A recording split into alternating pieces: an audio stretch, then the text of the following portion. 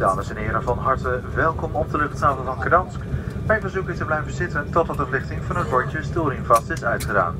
Vergeet niet de persoonlijke eigendom uit de stoelzak en bagagebak mee te nemen voordat dit vliegtuig verlaat. En denk eraan dat de handbagage uit de bagagebak kan vallen als je deze